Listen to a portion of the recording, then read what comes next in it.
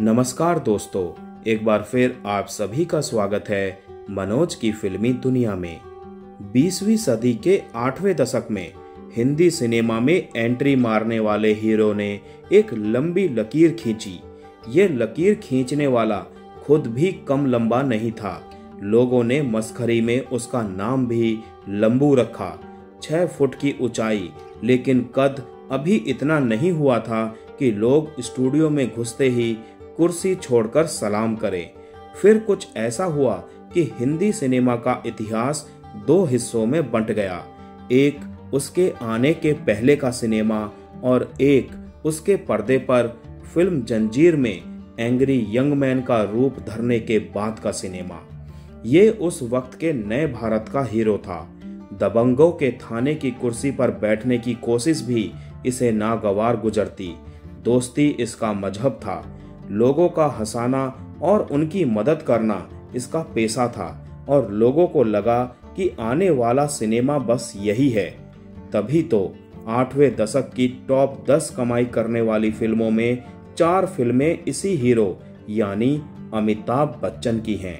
सोले, रोटी, कपड़ा और मकान, मुकद्दर का सिकंदर और अमर अकबर एंथनी। बाकी बची फ़िल्मों में मनोज कुमार की तीन फ़िल्में रोटी, कपड़ा और मकान, सन्यासी और दस नंबरी। धर्मेंद्र की एक फ़िल्म, धर्मवीर। देव आनंद की एक फ़िल्म, जॉनी मेरा नाम। ऋषि कपूर की एक फ़िल्म, बॉबी। और एक फ़िल्म ऐसी, जिसका नाम लिखने से पहले किसी सितारे का नाम ही नहीं आता। जय संतोषी माँ। फ़िल्म जय संतोषी माँ ही आज की हमारी फ़िल्म है, जो इस पूरे आठवें दशक में सबसे ज़्यादा कमाई करने वाली फ़िल्मों में आठवें नंबर पर रही और साल 1975 में कमाई करने के मामले में रही सोले के बाद दूसरे नंबर पर। वीडियो में आगे बढ़ने से पहले दोस्तों, प्लीज़ मेरे चैनल को सब्सक्राइब करके बेल आइकन को ज़रूर प्रेस कर दीजिएगा। तो चलिए दोस्तों, वीडियो को आगे बढ़ाते हैं। साल 1975 को वैसे तो हिंदी सिनेमा में अमिताभ बच्चन के साल के ही तौर पर याद किया जाता है, क्योंकि उस साल उनकी दो फ़िल्में, सोले और दीवार, सबसे ज़्यादा कमाई करने वाली टॉप फाइव फ़िल्मों में शामिल रही। लोगों को लग रहा था कि जंजीर से शुरू हुआ ये सिलसिला लंबा खींचेगा, लेकिन तभी रिलीज़ हुई फ़िल्म जय संतोषी माँ। इस फ़िल्म ने फ़िल्म पंडितों के सारे समीकरण ही बदल दिए। कोरोना संक्रमण का प्रसार रोकने के लिए देश में हुए लॉकडाउन के दौरान लोगों ने रामायण के किस्से खूब चाव लेकर सुने, देखे और पढ़े। लोगों ने खूब पढ़ा कि कैसे दीपिका चिखलिया और अरुण गोविल को देखकर लोग रास्तों में ही दंडवत करते हुए लेट जाते थे। कैसे लोग उनको भगवान समझकर पूजते थे। लेकिन आस्थाओं वाले देश भारत में ये किस्सा इससे और 12 साल पहले हो चुका था। बम्बई तब दादर के आगे बांद्रा और जुहू तक भी बमुश्किल ही आ पाया था और अंधेरी तक आने में तो लोग दस बार सोचते थे। लेकिन एक दिन लोगों ने देखा तो पाया कि बैलगाड़ियों की लंबी कतारें वसई विरार की तरफ़ से और मध्य मुंबई में कल्याण और ठाणे की तरफ़ से आती ही चली जा रही हैं। लोगों को पता चला कि कोई फ़िल्म लगी है शहर में। नाम है जय संतोषी माँ।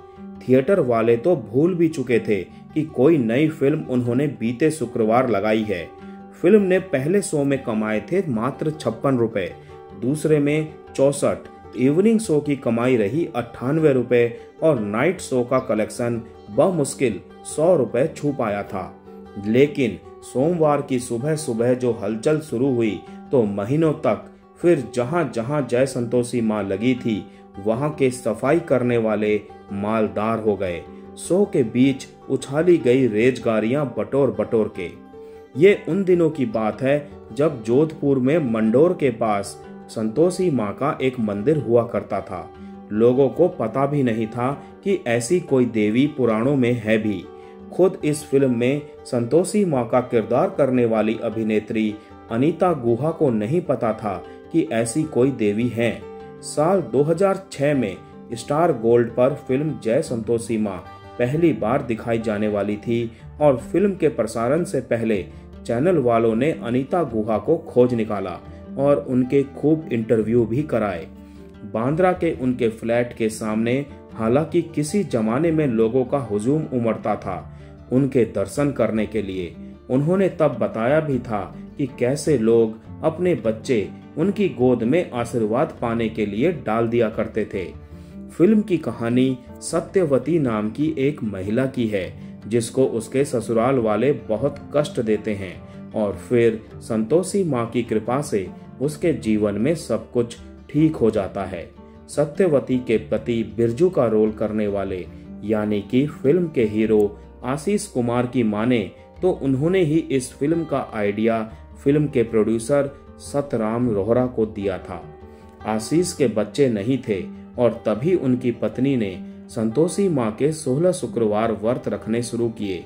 व्रत के बीच में ही आशीष की पत्नी गर्भवती हो गई। तो बाकी के व्रतों की कथाएँ आशीष ने अपनी पत्नी को सुनाई। अपने घर में बिटिया के जन्म के बाद आशीष ने ये बात सतराम के गुरु और फाइनेंसर सरस्वती गंगाराम को सुनाई। जिन्होंने फ़िल्म शुरू करने के लिए पचास हज़ार रुपए दिए थे। बाद में फ़िल्म से उस समय के चर्चित फ़िल्म वितरक केदारनाथ अग्रवाल जुड़े और उन्होंने तब तक शूट हो चुकी फ़िल्म के अधिकार 11 लाख रुपए एडवांस देकर खरीद लिए। फ़िल्म कुल 12 लाख में बनी और इसने बॉक्स ऑफ़िस पर अब तक कमाए हैं करीब 25 करोड़ रुपए। ये अलग बात है कि फ़िल्म के हिंदी सिनेमा के इतिहास की सबसे बड़ी ब्लॉकबस्टर बनने के बाद भी ना इसके वितरक के हाथ कुछ लगा और ना ही इसके निर्माता के। यहाँ तक कि फ़िल्म के निर्माता सतराम रोहरा ने खुद को दिवालिया घोषित कर दिया था। लेकिन ये किस्सा थोड़ी देर में बताते हैं। फ़िल्म जब तक सिनेमा घरों में लगी रही, तब तक खूब धूम से चली। गाँव से आने वाले चप्पल उतार कर सिनेमा घरों में प्रवेश करते, अपने साथ वे फूल माला लेकर आते और फ़िल्म शुरू होते ही, जब दूसरे ही सीन में संतोषी माँ की आरती होती तो सब अपनी आरती जलाकर आरती करना शुरू कर देते। फ़िल्म खत्म होने के बाद, बकायदा सिनेमा घरों के बाहर प्रसाद बढ़ता और पास में ही लंबी कतार दिखती, संतोषी माँ की फ्रेम की हुई फ़ोटो के साथ शुक्रवार की व्रत कथा बेचने वाले दुकानदारों की। जिनका बचपन इमरजेंसी के उस दौर में बीता है, उनको पता है कि शुक्रवार को तब चाट की दुकान की तरफ़ देखना भी कितना बड़ा गुनाह होता था और जो बच्चा गलती से शुक्रवार को खटाई खा भी ले, वो बेचारा हफ्तों तक इसी अपराध गलानी में जीता रहता था कि घर पर कहीं कुछ अशुभ न हो जाए। लोगों के घरों पर खूब पोस्ट कार्ड आते। इन पोस्ट कार्ड्स पर ऐसे ही 16 पोस्ट कार्ड और लिखकर दूसरों को भेजने को कहा जाता और फिर ये चेन चलती ही रहती। हालात यहाँ तक आ गए थे कि डाक खानों में पोस्ट कार्ड मिलने बंद हो गए। फ़िल्म में संतोषी माँ का रोल करने वाली अनीता गुहा रातों रात स्टार बन गई। इससे पहले वो सीता मैया के रोल तीन फ़िल्मों में कर चुकी थी। फ़िल्म आराधना में राजेश खन्ना की माँ बन चुकी थी और फिर उनके जीवन में संतोषी माँ का आशीर्वाद आया। इस पूरी फ़िल्म में जब तक उन्होंने शूटिंग की, हमेशा व्रत रहकर ही काम किया।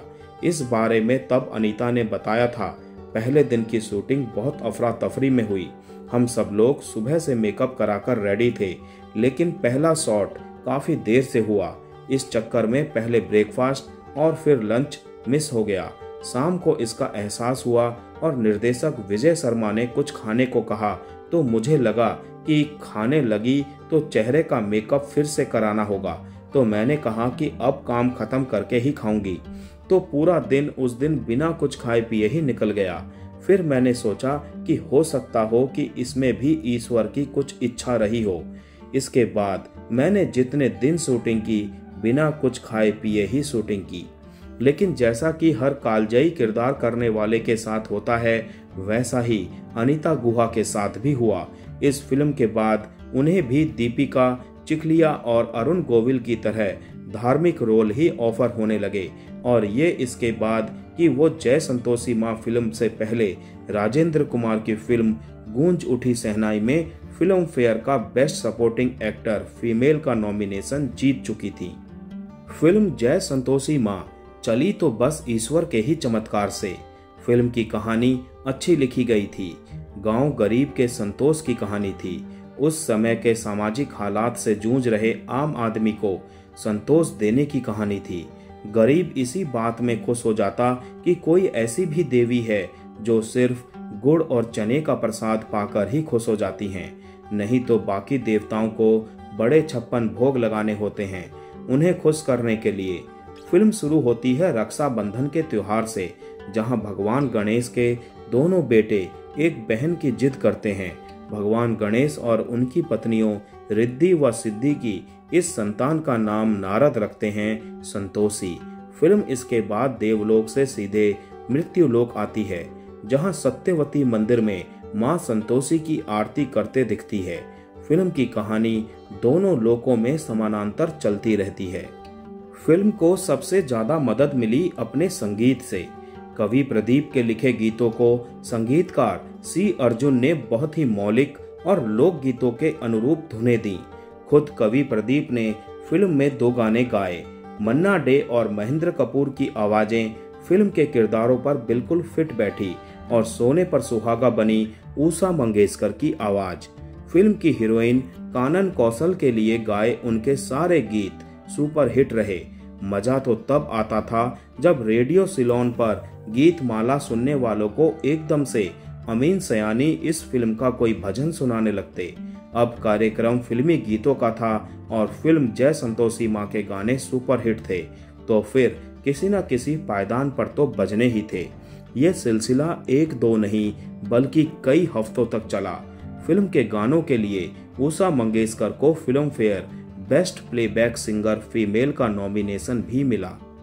फ़िल्म जय संतोषी माँ में संतोषी माता बनी अनीता गुहा को सफ़ेद दाग की बीमारी हुई और इसके चलते उनका अपने घर से बाहर आना बाद के दिनों में काफ़ी कम हो गया।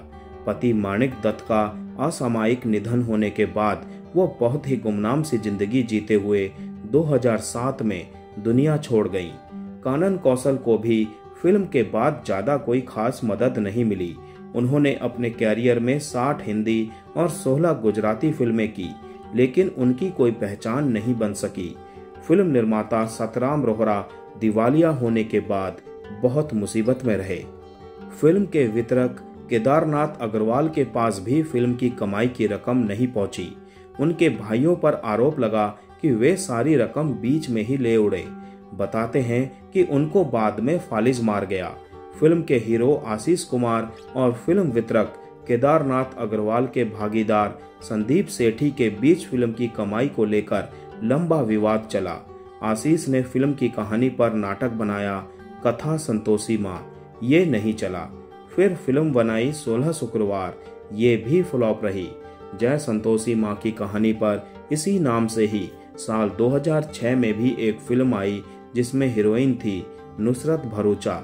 ये फ़िल्म भी फ्लॉप रही। आज के वीडियो में दोस्तों बस इतना ही। मिलते हैं नेक्स्ट वीडियो में। तब तक के लिए आप सभी को tata bye bye, take care.